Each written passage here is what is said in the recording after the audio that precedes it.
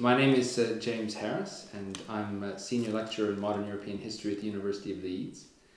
And it is my great privilege and honour to have the opportunity to talk today to uh, Professor Sheila Fitzpatrick, who is a Bernadotte. Schmitt Distinguished Service Professor at the University of Chicago, who is the author of, uh, among other books, A Commissariat of Enlightenment, 1970, uh, the editor of Cultural Revolution in Russia, 1978, author of Education and Social Mobility, 1979.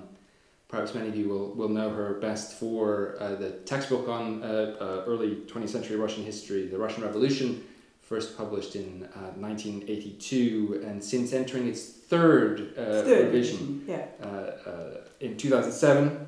The author of Stalin's Peasants in 1994, Everyday Stalinism in 1999, Tear Off the Masks, Identity and Imposture uh, in 20th Century Russia 2005, uh, and innumerable other books and, and, and articles. Uh, uh, Professor Fitzpatrick has perhaps done more than any other uh, historian to, to shape the field of modern Russian history. And perhaps most famously, she is associated with, with revisionism, with leading the challenge to, to what was then the dominant totalitarian model uh, in the 1970s. And I'd kind of like to focus our conversation on that transition in the field uh, mm-hmm. and, and, and the rise of, of, of revisionism. Um, could you, for us, characterize uh, the, the state of the field as you entered it, having completed your, your PhD? Mm-hmm. Well, I didn't come directly to America. I, well, I, I suppose I did it after a few years, but what I can characterize uh, will be American focused, and it will be what I saw when I arrived, which I think was 72 or 73.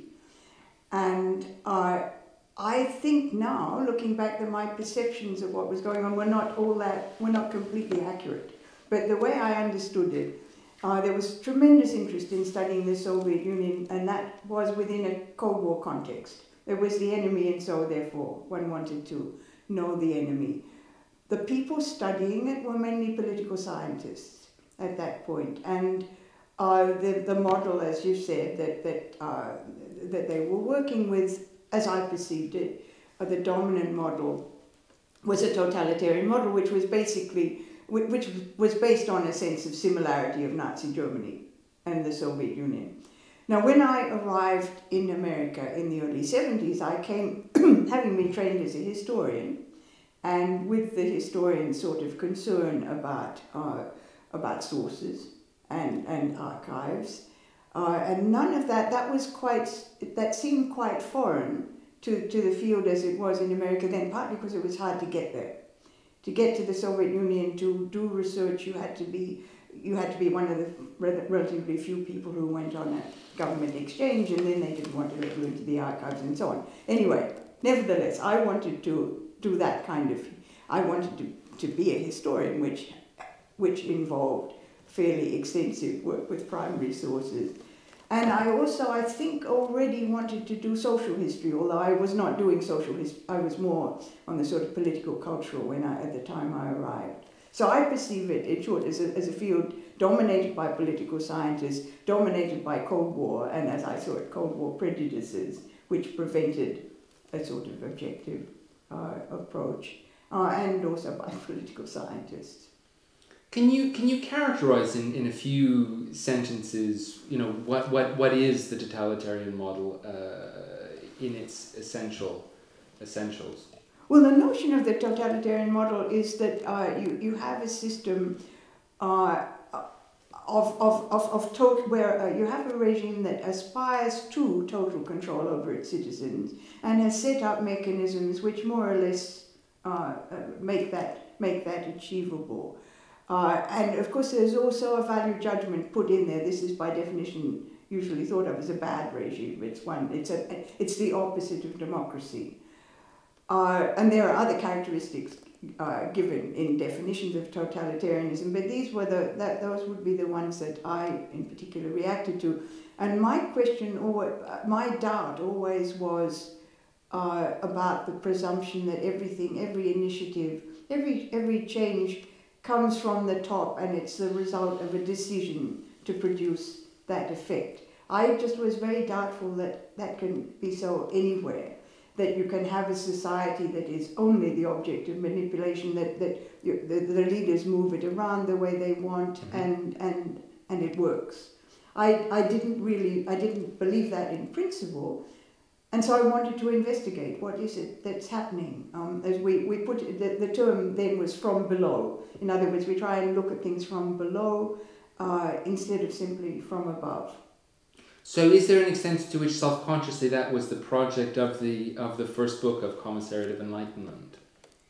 I don't think, well, I don't think that was the project of the first book, really. It was after uh, the first book, what I was really interested in was the relationship between um, uh, Bolsheviks and intellectuals, and particularly the sort of mediating people, like my man Lunacharsky, that I focused on.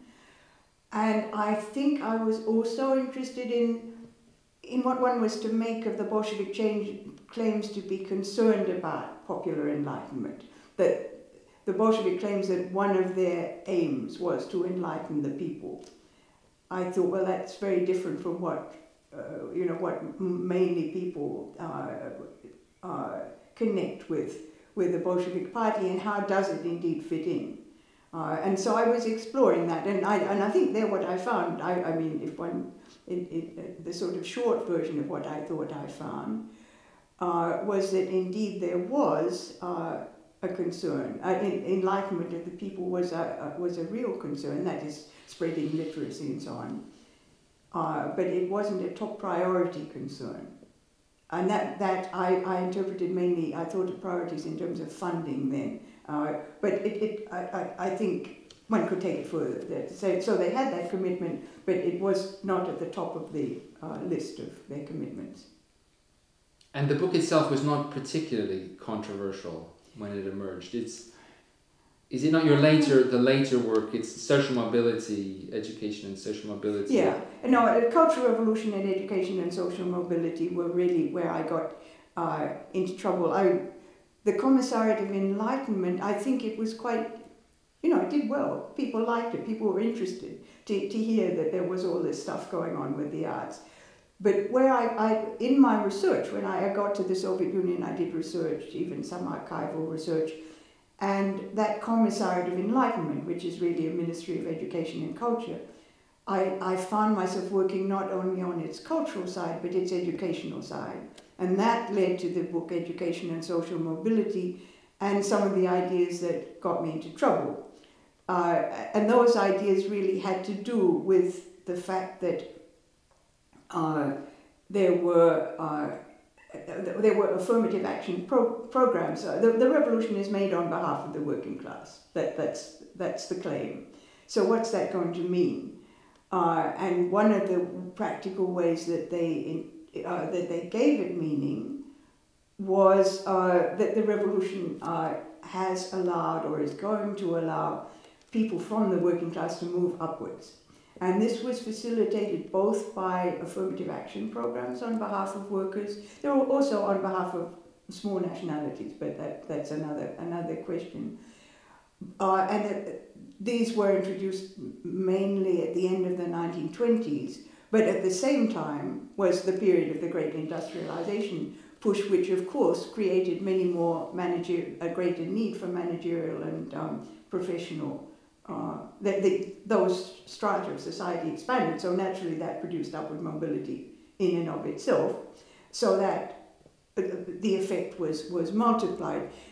So I was talking about upward mobility, and I said, well, you know, usually when people are upwardly mobile, uh, or often, uh, they think that whatever regime or system they live under facilitated that as Americans obviously have always done. And that was very a very unpopular line uh, in, in, in an American context to make about the Soviet Union, because I think there really is some feeling in America that, you know, upward mobility is, is the thing that we, you know, that's our democratic thing. Did did you were you saying in that book that the regime, for that reason, was popular, or was that something that? I was saying it would, no, I didn't. I, I think I may have been understood as making a bigger claim, but I was saying it was popular with the beneficiaries. I was saying that those people who came from the lower classes and after the revolution rose into the elites felt that the revolution had made that possible and, and had a certain a kind of loyalty. In other words, I was making an argument that uh, this uh, uh, this looks as if this is a regime surviving not only on fear, mm-hmm. but that on, there's some base of support, but it was support from the new elite that I was em- emphasizing. I was not sure at that point whether there was any other support. And that, but that comes in my later books. So. To what extent did you anticipate the, the, the negative reaction? Were you, were you, did it take you by surprise? I was very surprised, yeah, because I thought social mobility, that is a universal social science concept that you can, um, you know, you apply it to America, you apply it some other place. But I had no sense, I didn't understand America well at all. And I had no sense it was so charged for them. Uh, yeah, no, I, I was extremely surprised. But the the totalitarian model uh, by this sort of mid to late 1970s has, has already been for, for, for, quite some considerable time under an attack, a challenge. Can right. you tell us something about the sort of the, the, the first wave of, of revisionism uh, and, and, and how it becomes the, the, the second wave, how the second wave emerges and, and, and your place in it? That's a rather large question. Well, how it becomes the second wave? Uh, you know, that attack on the totalitarian model uh, by political scientists, there were, there were various wings of it. Uh, there was Stephen Cohen, there was Jerry Hough, uh, there were a bunch of people criticizing it in various ways, and I, I was just a sort of outlier on that because I was not a political scientist, and my main point was I wanted to do social history, which was in, implicitly kind of it didn't fit with a totalitarian model. Mm-hmm. That's why I couldn't work with a totalitarian model myself well because if I'm trying to study society and I think something happens within the society, that there are things that happen, uh, I can't have a framework that says to me that things only happen because of initiatives from above. But insofar as I got into that argument, I think I uh, was didn't much know what I, I was talking about. So I don't really want to go there particularly in that, that if if the focus is on me, to, to a degree, I wasn't a, a, a, a really informed participant in that discussion about theory. So there was, a, I suppose, what I'm what, what I'm suggesting is you, you, you there was a level on which you must have sympathized with those political scientists who challenged uh, the totalitarian model, but you perceived your task to be a very different. Oh, one. sure, sure, I sympathise with them. Yeah. But there, there surely is an extent by the time that your that second uh, uh, and third books are attacked, that it sort of it must frame the way you you you see your work and your agenda. I mean, is there a level on which you are inevitably drawn in your work into the specific challenge rather than the pursuit of archival research into the specific challenge uh, of the totalitarian model. What, what did they accuse you of? Oh, well, the, yeah, the, the, the accusations were essentially trying to make the Soviet Union look good. Soft on communism, whitewashing the Soviet system by saying, for example, that there was upward mobility and that the regime had some kind of support other than terror. So that, that was the nature, and it was a very politicized sort of situation actually over uh, in, in, in the United States at that time. So that there was a lot of jumpiness about the thought that somebody might be pro-Soviet. That was also puzzling to me because I didn't feel I was pro-Soviet. I mean, I suppose I could make that statement stronger. I, I, I wasn't pro-Soviet. I mean, it was, it, I was in no way like those people who uh, went over in the 30s looking for, you know, the Soviet experiment and, and, and, and, and, and saw something and thought, this is great. I, on the contrary, went as a graduate student, uh, late 60s over there, and I thought, my God, this place is backward. I, I mean, I was really struck at, you know, they make such huge claims for themselves, and nothing really works. And that fascinated me, the, the, the, contrast between the claims. But in any case, so I, I was puzzled by these pro-Soviet uh, uh, uh, accusation because I couldn't really fit them very Mhm. well with me. I wasn't really one, uh, although I was, what I was read as was somebody um, who wants to say the Russians are people too, and uh, and so. And I didn't care about saying the Russians are people too. Yes, of course they're people too, but I was interested actually in the peculiarities of the system.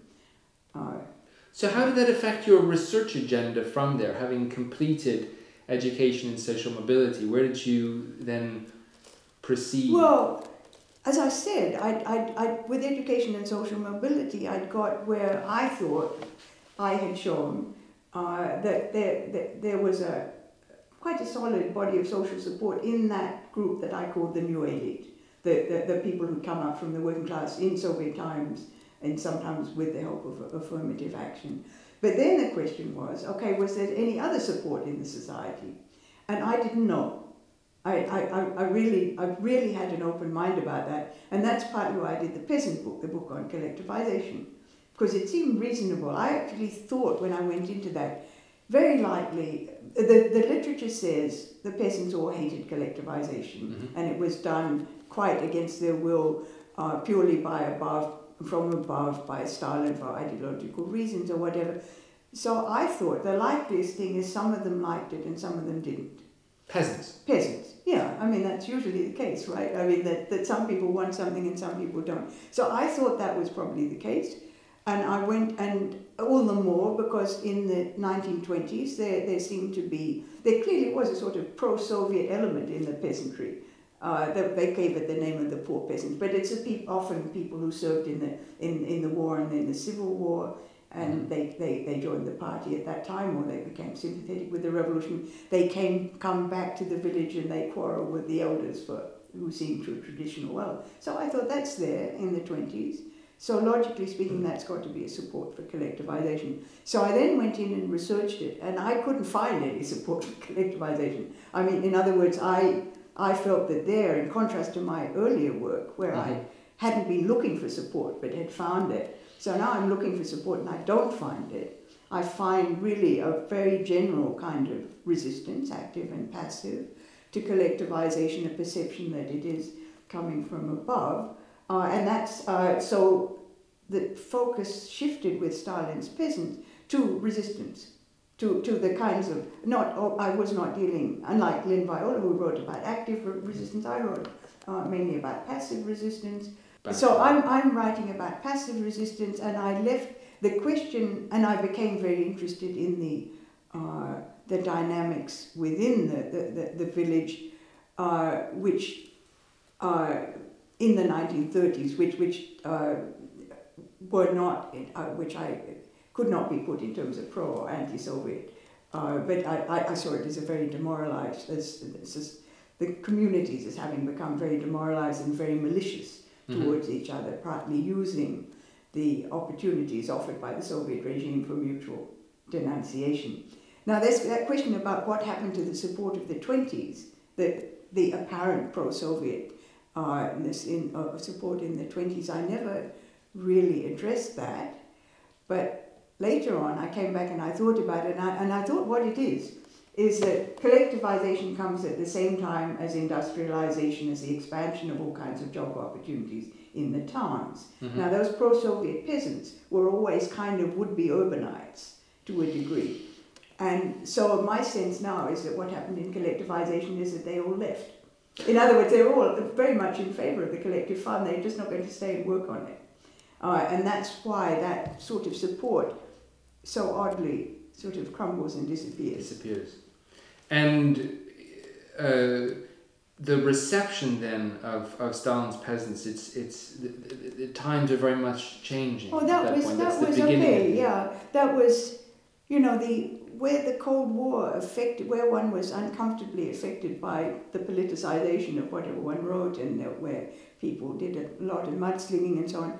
This was the seventies and probably first half of the eighties, and then second half of the eighties. Well, I was off in Texas at that point, and I wasn't really quite sure what was happening in second half of the eighties, but I was aware that as in, in that period suddenly uh, people I, I seem to have, have, have- become a, a more acceptable figure uh, in the scholar among scholars, among other scholars. And is that in part because uh, that your focus is changing to, to towards resistance? Is it also the, the the end of the Cold War?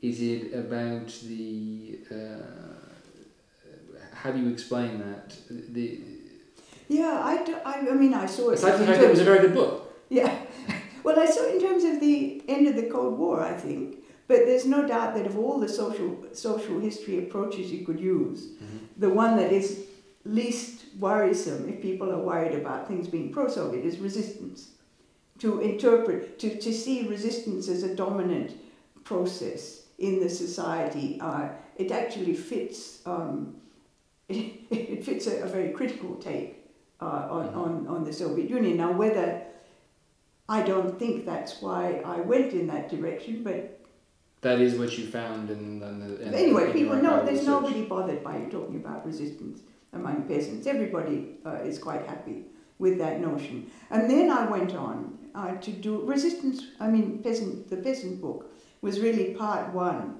of, of a social history of the 30s. And then I went on to do part two, and that was everyday Stalinism, and that was focused on everyday life, which which also went down quite fine. I mean, everybody, that was a time when people, scholars were interested in everyday life. I mean, they, they still are, but it was the beginning of that time of a focus on it. And I, what I was trying to do was to see how the sort of strategies with which people cope with a, a very difficult external environment. Mm-hmm. I was no longer in the questions of support. In, uh, I, I, mean, I more or less put them to, uh, to one side, but I was interested in coping, coping strategies. So there's a great deal there about um, uh, about the techniques you develop uh, to survive in a society where all kinds of goods are very scarce, for example. Mm-hmm. And when then the in 1991 the Soviet Union collapses and the, the archives opened, how did that was that a, a really sort of big uh, change in, in, in what you could yeah. do and what you could imagine? Well, it was, it was wonderful actually. I mean, it was it, it was a totally incredible thing because I think nobody had predicted the collapse. However, people may say that they did, but they, they, they I think really didn't. So it was a big surprise to everybody. Now, what but what happened was that the um, the archives, at least the archives of the Communist Party, uh, became uh, open. We had had archival access before, but mainly to uh, on relatively safe sort of things like education mm-hmm. and coming out of the state archives. And you know, the party was the the, the party side was the uh, was the more important. Now, with come ninety one, the very important secret police archives did not, in general, open. Although you got some, if I remember, I didn't in uh, Sverdlovsky Ekaterinburg. But that was in this upheaval period, uh, mm-hmm. and they didn't remain accessible to people uh, for a long time. But nevertheless, the, whole, the thing is, the archives open, you can suddenly go to the provinces. Before we were limited, you know, it was very hard to go to go anywhere except Moscow or Leningrad, wherever you'd been you'd been sent.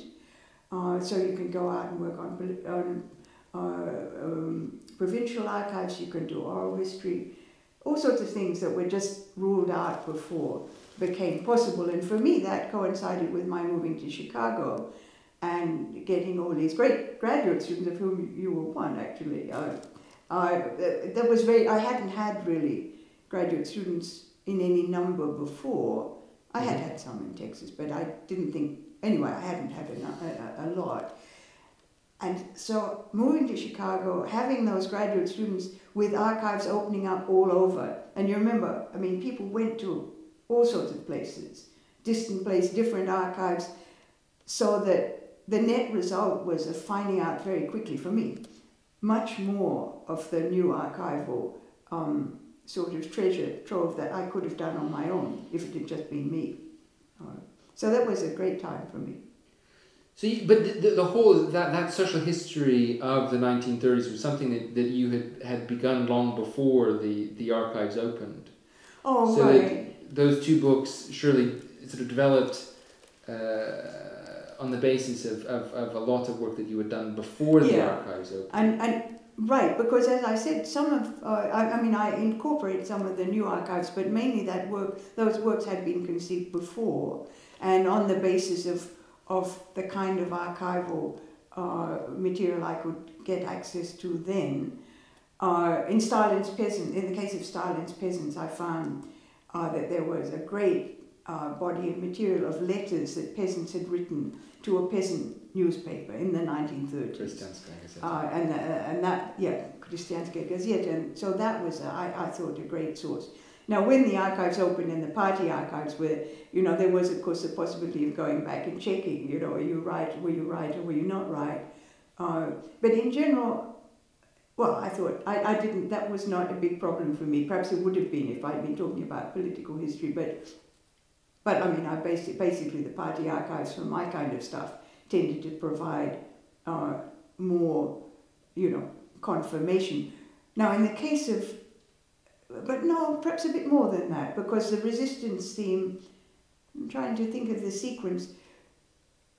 Certainly, the fact that archives open, the classified ar- archives in which you had reports of anti Soviet feeling in the countryside Mm-hmm. That was that became. I mean, they became accessible to me, and that became a part of my story. But I think the resistance theme was already there. It's just that some more kinds of data came up. Right, and having then uh, come into the into contact, as we all did, with this amazing treasure trove of new documents and all that uh, your graduate students and others were, were exploring in all sorts of, of, of, of, different ways in different places. Where do you where did you proceed? Where, where how did you decide where to, to go from this social history of the nineteen thirties? What what drew you? Well, yes. You know, then it was at that point, at the beginning of the towards the late 80s, I'd been dealing with social history and I'd been trying not to deal with class. I mean, um, you know, my sense was class was, i I'd, I'd always, class is the category the Marxists, the, the Soviets use, uh, and they use it in a static way and it's totally uninteresting and so avoid it if you can. That was mm-hmm. my attitude. But I, there's a sort of niggling worry about this. Uh, because after all I did in my upward mobility stuff, I did draw on the concept of proletarian.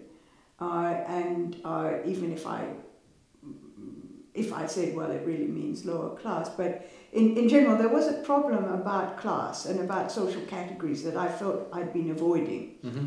Everyday Stalinism is very notable for avoiding any kind of social categories. You know, I don't talk about workers and white collar people, I just don't do that in that book. I write about strategies which urban citizens in general in get employed. employed. Uh, but I, you know, this, there's a niggling worry about class because it, it never, it always seemed to me uh, to, it never described properly, uh, the, you know, what was actually in the society. At the same time, it was obviously terribly important, these mm-hmm. class mm-hmm. terms that they're throwing around.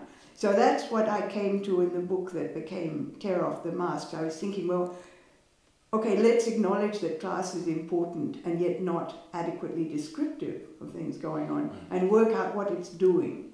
And I got the sense of this, of the tremendous importance of class labeling and acquiring for yourself the right class label. In other words, in acquiring an identity uh, uh, of, let's say, proletarian or poor peasant. And that identity is one that is actually, at, at, after a while, written in your passport, but it's also written in your identity, your earlier identity documents. It affects your whole, um, it affects whether you can, it, it, what category of rations you get, whether you can get into college, whether you can continue in, in, in high school, all these things, uh, whether you can, uh, can get an apartment. Uh, so the, the, the uses of class and the, and the ways in which people constructed identities for themselves, which enabled them to, uh, to prosper in this particular uh, uh, situation, are what I turn to and tear off, of, of the masks. Um, do we want to get into post revisionism? Sure, yeah. Um, so is that that sort of cultural history, if we can, can we call it cultural history? Tear yeah. off the masks. Well, in a Yeah. political culture. Oh, I, I suppose you can. Uh, it's focused on, um, I mean, it's very much focused on behaviors, and that is like, uh, uh, it, uh, that is like everyday Stalinism. They're both fo- focused on people's behavior. Uh, everyday Stalinism is mainly about their behavior getting goods. Uh, and, and, and not getting into trouble, and uh, tear off the masks is about their behavior in, in, in constructing themselves and creating, uh, uh, creating good dossiers on themselves. Uh, uh, this, this sort of construction of file selves was what I, I, I called that. But of course, there you're getting into identity. It, it was my particular way. Lots of people were doing identity studies at that point, and which I guess comes under cultural history. Uh, and I was doing it too, but in my own way, because I was, I, I, identity studies in general tend to be, studies of subjectivity tend to be a bit kind of amorphous for me. I like, Mhm. but so I was doing I, self-identification rather than than a, a broader concept of, of, of identity, but it fits. But it was my sort of, uh, perhaps it was involved a reaction to the general turn in the field, which was towards cultural history, siding with the so-called linguistic turn. Uh, So no one was anymore talking about the sort of uh, system from above and from below. Is that that that revisionist debate uh, was was carrying things in the nineteen seventies and eighties? How had it changed by the nineteen nineties and, and and into this uh, uh, decade? Well, I think a lot of the revisionist, um, what had happened, two things that happened. One is the field did one of its, its, it, its you know, the, the move, fields move. They'd been moved, they moved in the 60s, uh, 70s from political to social history. And then in the 90s, they start to move social, uh, uh, social to um, Cultural. to cultural history. But in doing and in doing that, it always involves quite a lot of, of, of formal repudiation or criti- criticism of what's gone before. But there always is too a very large amount of absorption of what has gone before and just taking it for granted that that's how it is. I, I don't think now that you talk about people are not particularly interested in upward mobility, but they don't they, they don't deny it happened. hmm It's just not what It's they're looking at. So that, so that's a, an example. But in one particular respect, the the people they start to call themselves post-revisionists. But so maybe we can call that term, use that uh, use that term. They in a way return to the question of support.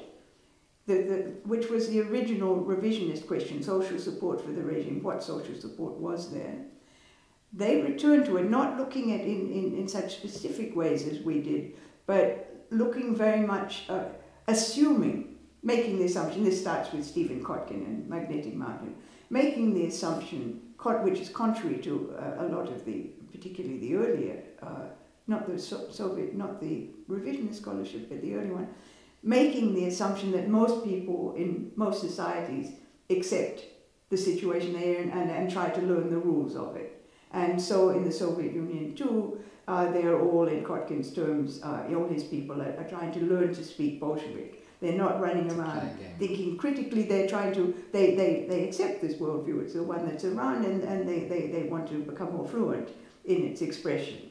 And uh, that's being developed by uh, a number of, of, of, of scholars of, of, of the younger generation. Uh, Jochen Hellbeck with Revolution on My Mind uh, is, is, a, is a good example. So you, you had a younger uh, group of scholars focusing very much on the subjective experience of, uh, Mhm. well, in particular, of Stalinism. If, if I may be permitted to to conclude uh, with a sort of a, a, return uh, um, with a question about public perceptions of, of, of the Stalin period. Mm.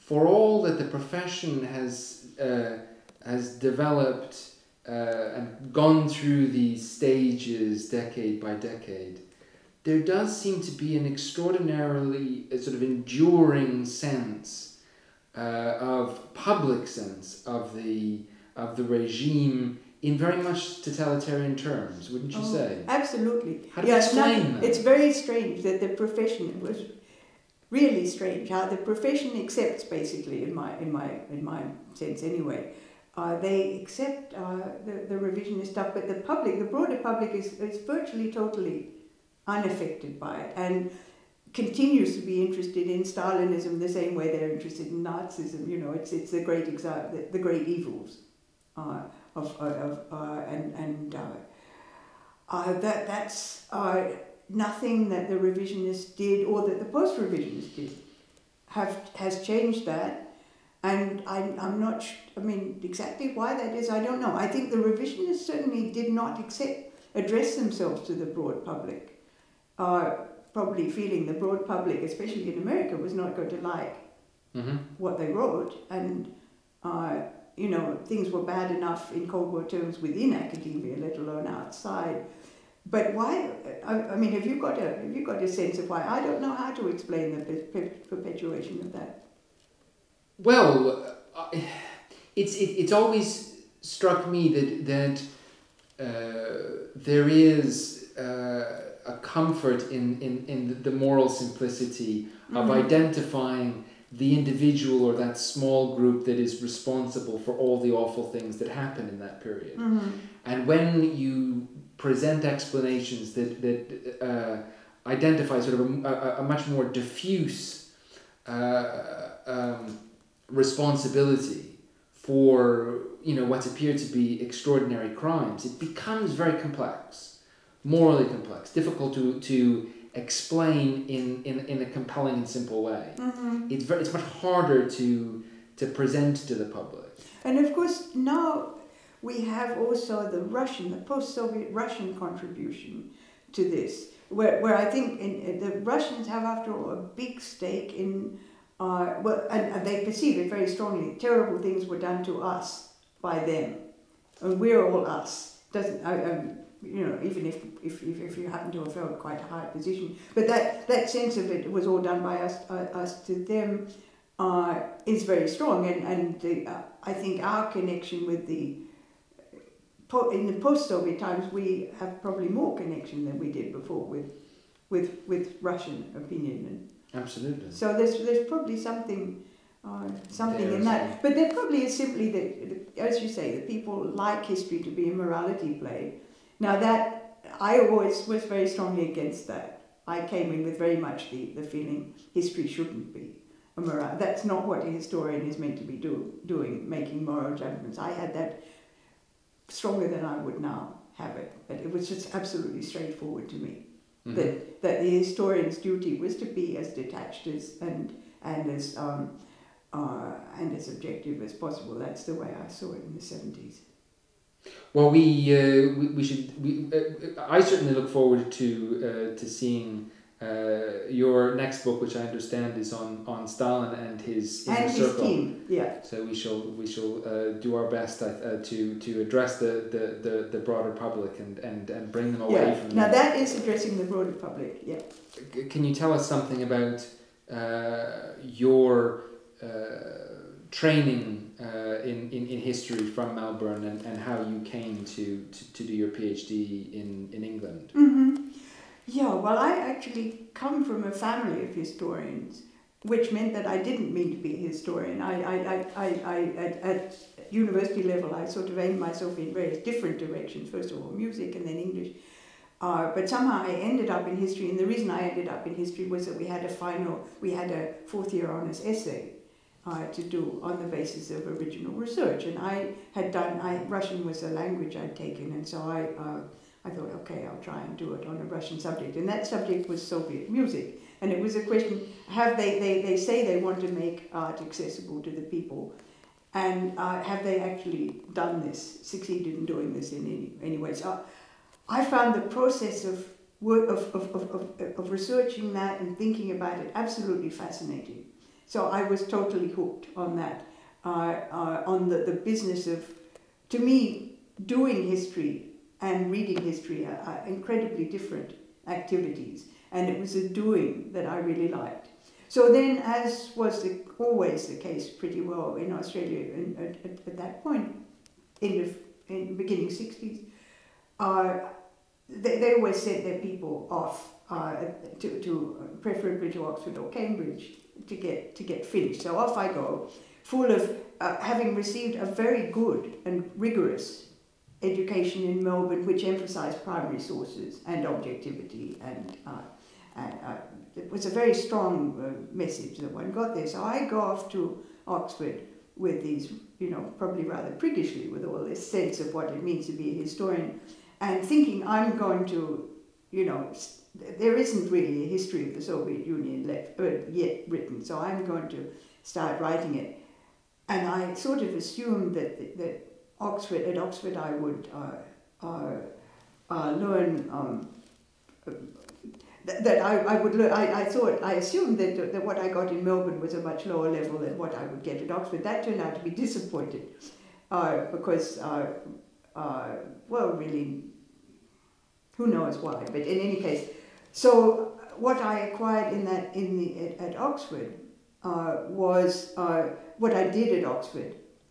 Since you didn't actually get taught anything, I read the work on Sovietology, the mm-hmm. mainly American, and I, I, I thought it was uh, at that time I you know very critical and thought it was pretty awful because I thought it's all politicized. There's, they're, they're not really trying to use a range of sources. There are many sources. They're not you know okay it's hard to get sources, but it, you don't have to use only Pravda and Stalin's collected works. You know there is, is some other stuff out there, uh, and so that's what happened to me in, in, in, in Oxford that kept me on the uh, in the field, keenly interested, uh, but already with a slightly challenging attitude towards um, the existing scholarship. And then, when you expressed an interest in working in the Commissariat of Enlightenment and working in, in, in Russian archives, what was the, the response of your of your advisors at Oxford? Well, my advisor was a literary man. He was a translator. He, he didn't. He was always terribly puzzled by the fact I kept talking about sources and, and so on. Well, he thought fine, you know. Off you go. Whatever she's talking about, you know, let her go off and do it. Um, and so there was no sense of criticism of doing it. I think people were quite interested in Lunacharsky and, you know, interested in what I'd find out about him.